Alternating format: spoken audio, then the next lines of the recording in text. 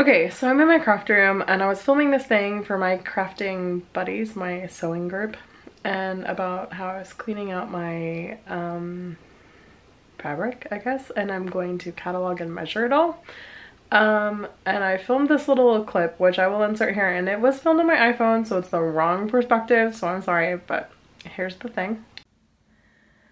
Okay, so I pulled out all of my fabric. Like, all of it. um, and I'm going to try and go through it and decide what I want to keep and what I don't really need. Like, this stuff is crazy awesome, but it's also like, I should not have fabric that sounds like that. it might mean it's vinyl. um, this is all new fabric over here, so I have to like refold that and measure it.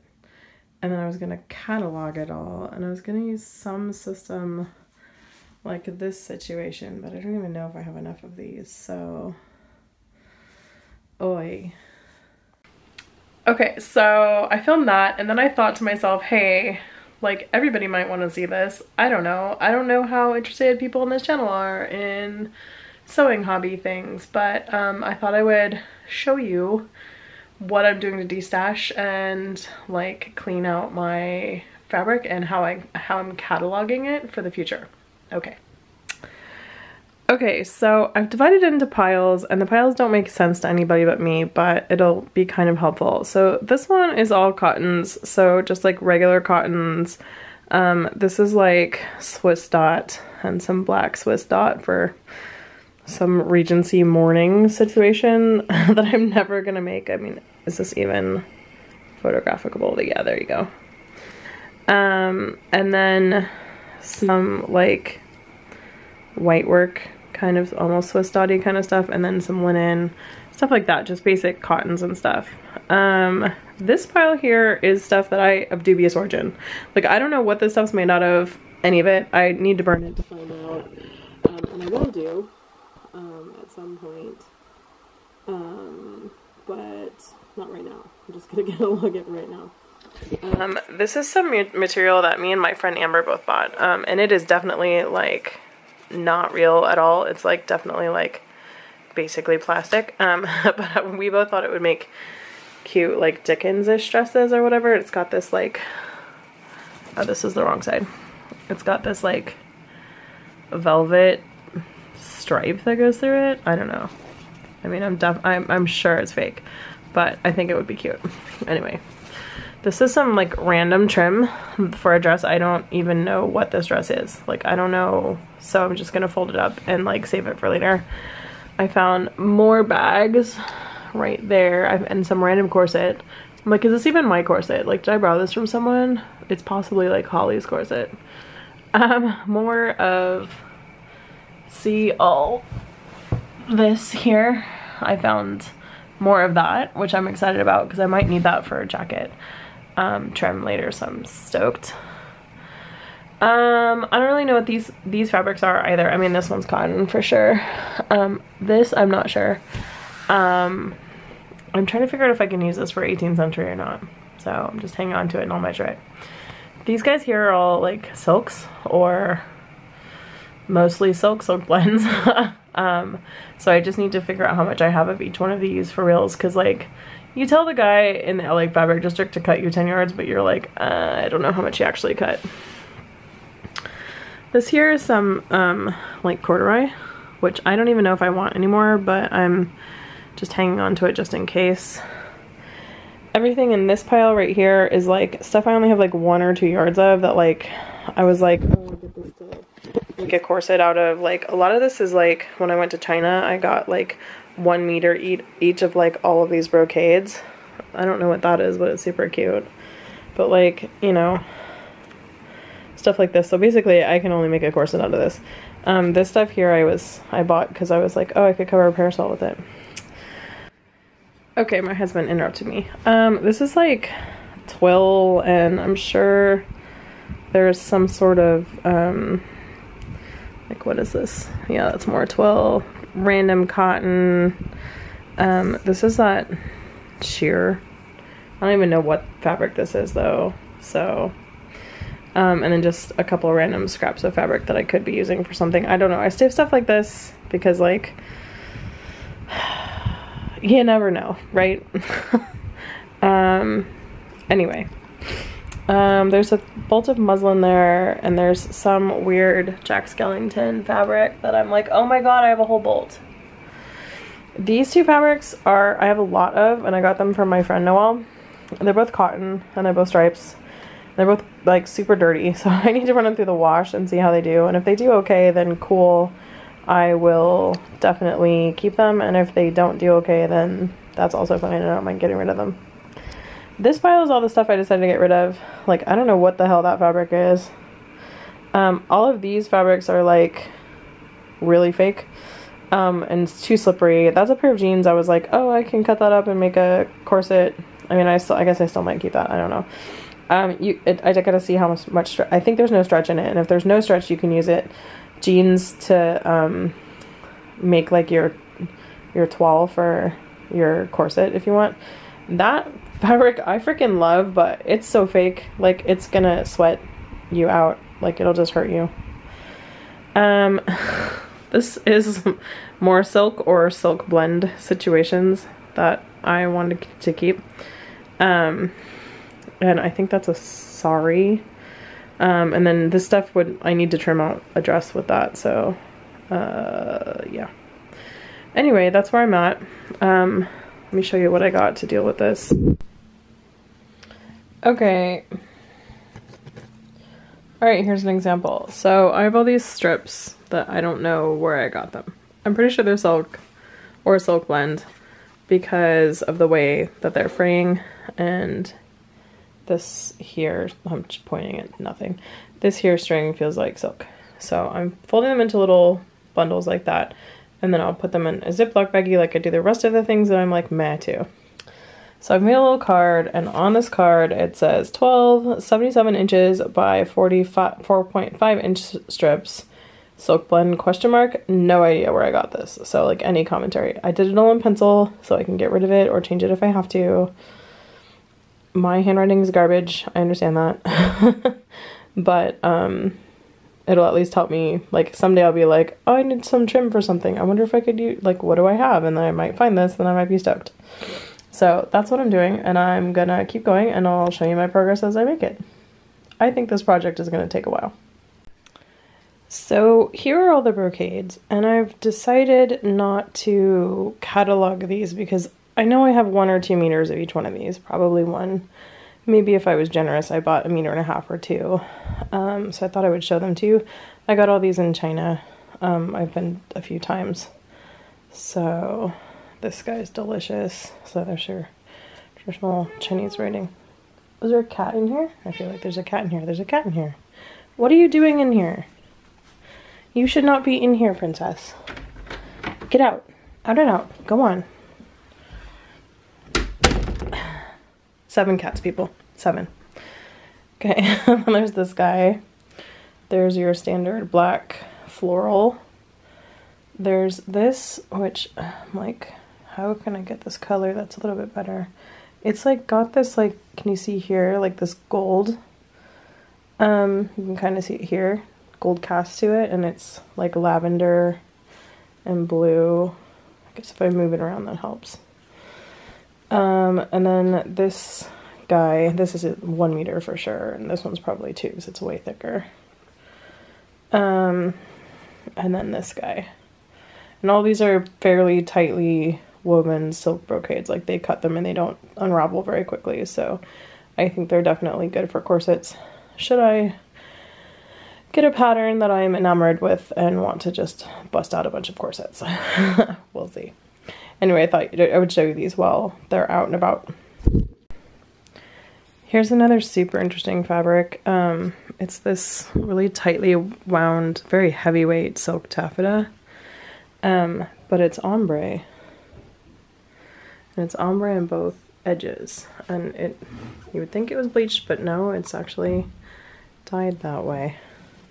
Thought this would make a really beautiful corset someday. Um, I have a couple of pieces like this. I think this sky right here is a lot more of it, but it's a darker, richer, like red, red brown color. So I'm gonna see what that is later. But I thought that was really interesting. I actually do have a bunch of like very interesting fabrics in here. Okay, we're on day two. Uh, day, I don't think I showed you what I got done yesterday. So I have all my small cuts there, some of which have cards, but most of which don't. And then I started another pile of whatever fabric, I don't know, not silk um, stuff. So I did that yesterday. This is going to take me some time. I've also decided I hate this system. Like, I violently hate it. I will have to continue it briefly. I meanwhile have ordered a two inch um, three ring binder. It's actually a small one. So it's eight and a half by five and a half. So it's half the size of a normal sheet of paper. And I've ordered cardstock, sheets to go in it, a hole punch, and some tabs so I can like organize it a little bit. But I think a binder is going to be better than this. I just, I thought about this all day and I just freaking hate it. So anyway, I'm going to continue folding. Um, these are the ones that we got yesterday. So this is some sort of, I don't even know what fabrics these are. This one's really weird because it has this weird interior. This one is like waxed almost. and this one, I made a corset out of a while ago and it was lovely. Um, anyway, I'm just keeping these around in case I want to use them for anything. Even like this guy down here and maybe even this guy could be used as like a stiffening fabric at some point if they needed to, as like an interior lining. That would be fine for like a jacket or something. Um, but I don't know what I want to do with all these. I'm just hanging on to them. Oh, I did fold this guy. I also got that guy going. I love this fabric. It is so fugly. And it has this like actual velvet. It's not actual velvet, it's like shitty cotton. But um, this is velvet like cross hatching. And I don't know, you can see like the dots in this are really cute. Anyway, I don't know what I'm to do with it, but it's so horrible. I love it. All right, here's where we're at. We got these small flat folds here, um, larger unknown origin things, although that one on the top is cotton. Um, this is all the cottons, not all the cotton stuff, some of it. It's the, um, like miscellaneous pile of like strengthening fabrics and then also like lawn and stuff. So like very heavy and very thin. This is all Swiss dot. That is Swiss dot and a cotton that's trying really hard to be linen, which it isn't, and there's a little space in there. And then this is like mm, batting and stuff that I use for hat making. So we got one cabinet fully fully done. Um, the table looks a lot better. Um, I can't do more than like an hour of this at a time before it like starts killing me. So we got some silks left. Um, that's a misc. That's a misc. This is definitely not silk, but it's pretty, so it might be a hat someday. uh, probably not silk. Um, this is all cottons. And then we still have this monster pile of random silks to deal with. Um, and then, of course, there's that situation. Oh, for anyone who wants to know about this, this is my cutting table. Um, it comes up to like my belly button, I guess. Um, and this is four, one, two, three, and then four IKEA cabinets. Oh, these are Christmas presents. Um, IKEA cabinets, um, just kitchen cabinets, and then I chose the like four inch legs to put on them, but you can make them as high as you want. Like you can make this table higher or lower if you wanted to, just by changing the legs that are on the cabinets. And they have um, a cabinet and you can put as many shelves on you as you want in there. I put three and then they have a drawer um, which mine are stuffed to the brim um, in them each. So they can hold all sorts of stuff. And then the top is two Ikea countertops. And you could screw this all together if you wanted to but I don't. I just leave them um, so this is two countertops. You can see the slit between them um, and I just chose the wood ones. It's pretty massive. Like, I mean, as you can see, this is a 55 inch cutting mat right here. And it doesn't go all the way to the edge. You can see it still has a bunch. So I think this table is like 72 inches long or something like that. And then, uh, what does that say? 33, like 52 inches wide. I don't know, it's huge. Anyway, it takes up the majority of this room, but I love it because I can work with fabric and also still piles of stuff on here without it being a problem. So anyway, that's the cutting table. So we're in better shape and I will keep at it. Next week I am out of town, so I don't know if I'll finish this before I go. Um, because I don't know if I have time every night to work on this, but we'll see. Anyway, I'm hoping so. I would really love it if this was done so that I can come back and wrap presents in here. Oh, the best thing about this table is not that you can cut really easily on it. It's that you can wrap really easily on it. So, uh, highly recommend this for anybody. And you could also, if you wanted to, just do half of this and put it up against a wall and it would make a really great, like just get one countertop and two um, kitchen cabinets or even three kitchen cabinets if you don't want the space. I just have a space here in case I want to put a stool and sit there. Although at this point, I might just get more countertops. I don't know, or sorry, cabinets. Um, anyway, that's a little bit about that. Okay, we are done with day three of doing this. Um, I actually spent like three hours doing this tonight. Um, I decided to, I got rid of all of the stuff that's donation and the stripy fabric was stained and kind of meh, so I just got rid of it. Um, this cotton still needs to be folded. Whatever that is still needs to be folded. And I got through all the silk that's here and half the silk that was here. So this guy is full. So I I did like I think all of this tonight. So these are silks that are kind of small here. And these are getting bigger cuts and then these are all pretty big. So I sort of just let them be in there. I might put some more in there. And then that stuff, like this was too wide. So I just put in all the bags of extra like trim and stuff that I have in there. I just keep them in Ziploc bags. So that's that. Um, and then I got some stuff in here too. Um, oh, I just did these. Put that guy in there and then I folded this one. Um, this is my robe anglaise um, and my stays. That's a stays drop. I don't even know if any of this stuff fits. So at some point I'll have to pull that out and like iron the crap out of it and see how it goes. but I need, you know, ladies maids for that. So we'll see. Anyway, making progress. Uh, I think one more day should really do it. Maybe, maybe a little bit more, but we'll see. Tomorrow I have plans, so I don't know if I'll get much done tomorrow, but we'll see. Okay, this is day four, is that right? I finally got all these silks done. I got the wool done. And all of those are in here. The wool is right there, and all these silks are here. Um, I decided I wanted to wait on this stuff just to show it to you. Um, I have this cute Edward Gorey fabric that I got. I think I have like one or two yards of this. I think it's really expensive. I think I got this at Michael Levine. Um, I just thought it was super cute. I don't know what to use it for, but thought someday I'll find something.